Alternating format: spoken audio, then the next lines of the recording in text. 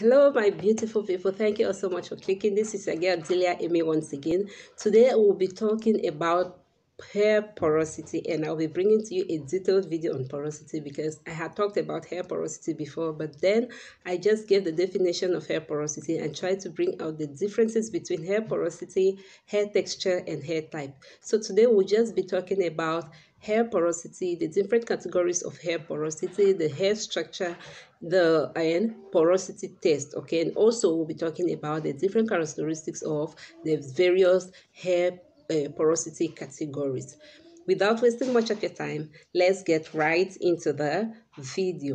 So porosity normally is how well oils and moisture moves in and out of your hair cuticle, okay, your hair cuticle. And this will make us to understand to like try to have a bit of knowledge about the hair structure because the hair cuticles is part of the hair structure okay? The hair structure is divided into three layers which are the cuticles the cortex and the medulla. The cuticles is the hard the tough sorry is the tough protective layer of your hair the tough protective outer layer of your hair. The cortex is the thicker layer of your hair which contains proteins it contains fibrous it contains pigmentation. Pigmentation is what gives your hair the color that it has. And the medulla is the soft central layer of your hair. So porosity simply explains how well oils and moisture penetrates the outer layer of your hair to get in and how well it stays there how long it stays there. Now after talking about the structure, we can now talk about the different categories of porosity. Hair porosity is divided into three different categories, meaning there are three different categories of people. There are a group of people which fall under a particular category of hair porosity. That's how well oil and moisture can penetrate their hair and how long it can last in their hair. So these categories are simply low porosity, high porosity, and medium porosity. Okay. Low porosity is when your hair cuticles, the hair cuticles, remember we said earlier, is the outer layer of your hair, the tough protective outer layer of your hair. So low porosity, the cuticles are tightly closed, okay? The cuticles are tightly closed and if they are this closed, oil moisture is very difficult for them to absorb oil or moisture okay so they are tightly closed together for medium porosity, medium porosity is when your cuticles are slightly open and they are slightly closed together. So it is easier for your hair to absorb moisture and it also stays, it keeps moisture for a long time. When you say moist, it retains moisture. High porosity is when your cuticles are widely open. This way, the um, moisture or oils can come in easily but as in as much as they come in easily is the same way they leave take a practical example to better understand how well the hair porosity works. For example you have a window.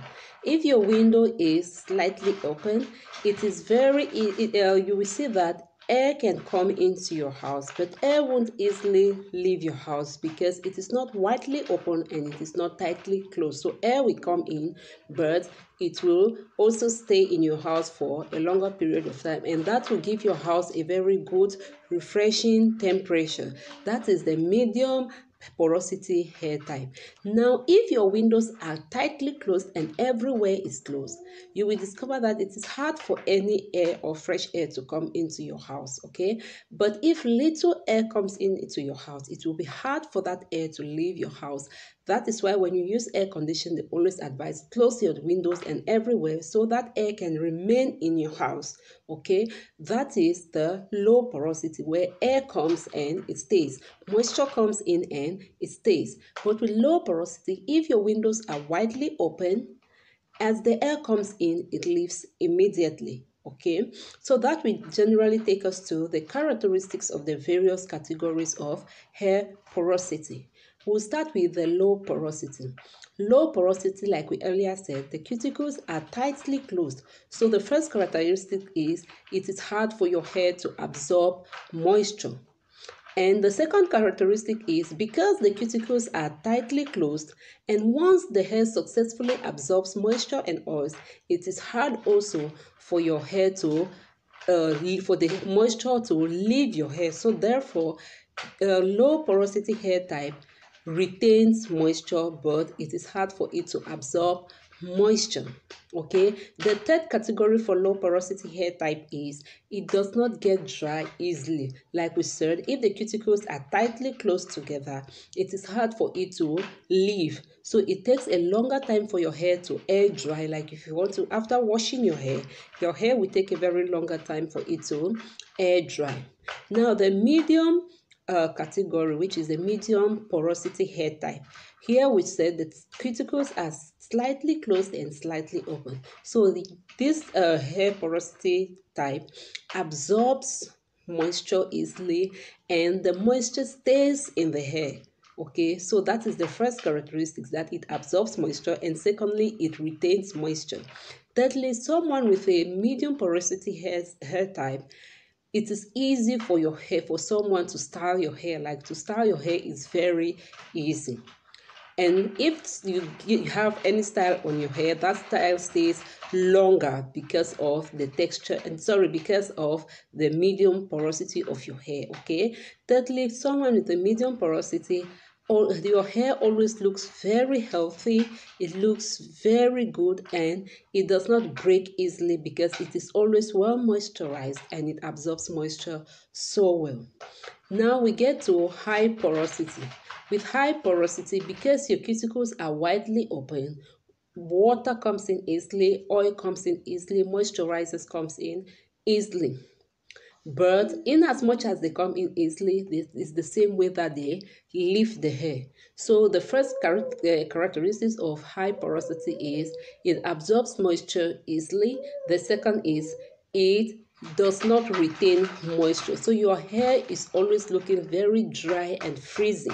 Okay, high porosity hair types always look very dry and frizzy. And for also, it is prone to breakage because when hair is dry, that way it is very easy for your hair to to break. Sorry for the noise guys. I have a co-host here. Yeah. So uh, if your hair is dry your hair can break easily okay? So that is the characteristics of high porosity hair type. So now another question people will be asking is how can you know your hair type? But before we get to that i would like you to know that sometimes your porosity, your hair can carry two different porosity. So if your hair contains, it has porosity, two different porosity, maybe some uh, tests cannot really so we are going well. to talk about the how to do the different porosity tests. The first is the glass and water test. Here you have water like this and this quantity. It should be this much because you want to actually see when the hair is in the middle, when it's at the bottom, and where is when it's at the top. So you get one clean strand of your hair and drop it in this water. If it stays at the top, it does not sink for like a couple of seconds or one minute, it means you have low porosity hair type because that hair, the cuticles are tightly closed so it does not absorb moisture fast. If it remains in the middle, it means you have the medium porosity. And the medium porosity, it means the cuticles are slightly open and slightly closed so it absorbs and retain moisture. And if the hair strand sinks immediately, you drop it and it sinks down below in, uh, in this glass, it means you have high porosity hair type because your cuticles are widely open, they absorb moisture fast, and that is why it will just sink. It will just absorb this water and sink down to the bottom immediately. The setbacks of this uh, test is remember that oil does not go with water okay oil does not go with water so if your hair is dirty or your hair has any oils or build up let me say oil. Oil can cause your hair to float and that will not give you a good result for this test because anything that contains oil cannot sink in water. So that can cause your hair to float. That is why you have to wash your hair. If your hair contains build-ups or any products that can absorb oil very fast uh, water very fast it can cause your hair to sink down and that will also give you a wrong result from this test. So for you to actually get the right result you should be make sure that your hair is thoroughly clean and it is dry.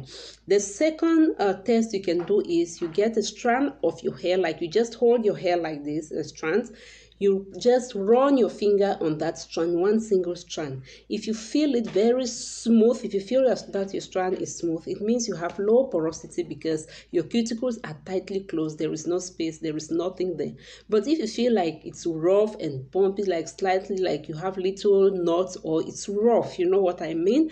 It means you have high porosity because your cuticles are open the third test we can talk about is run like running water on your hair. Since we know that porosity is how well your hair absorbs and absorbs moisture, you can just make sure that after washing your hair thoroughly and it's completely dry, try to like pour water on your hair again and see how fast your hair will absorb that water. If your the water is just like lingering on your hair and does not penetrate so easily, it means you have low porosity hair type. But if you just pour water on your hair on your clean hair and the water just penetrates your hair it means you have high porosity hair type or medium porosity hair type. But also the setback of this is maybe if you pour water on your hair that is dirty and is oily the water will not penetrate easily. We all know that because of the oils okay? Also the the density of your hair how thick your hair is can also affect how water can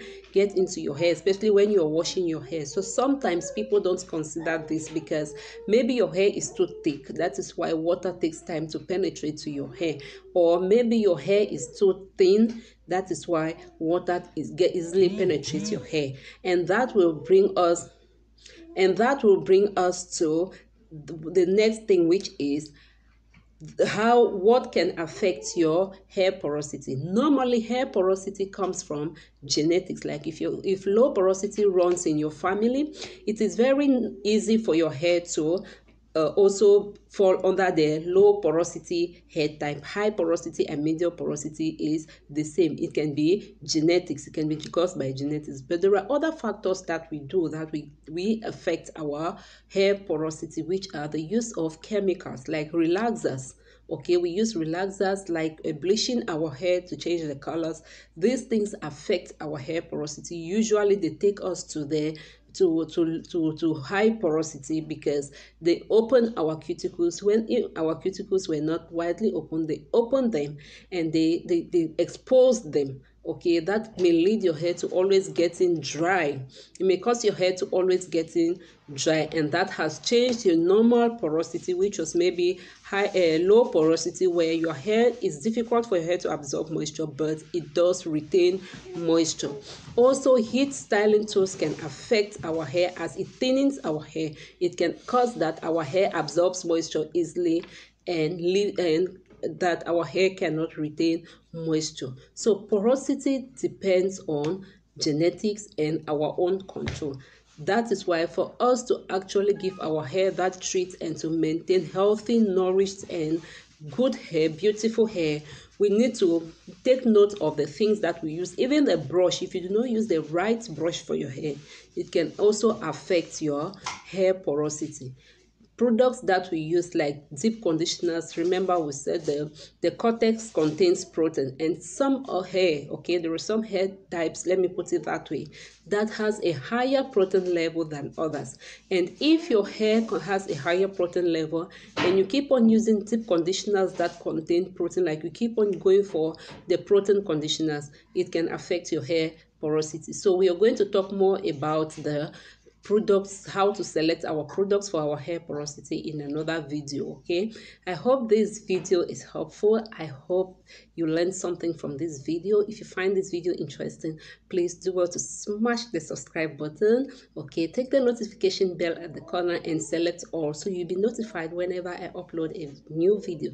Don't forget to give a thumbs up for this video and leave a comment. What do you think? What are your suggestions okay? And if you have any question please drop it in the comment section below. Thank you so much guys. I love you. Bye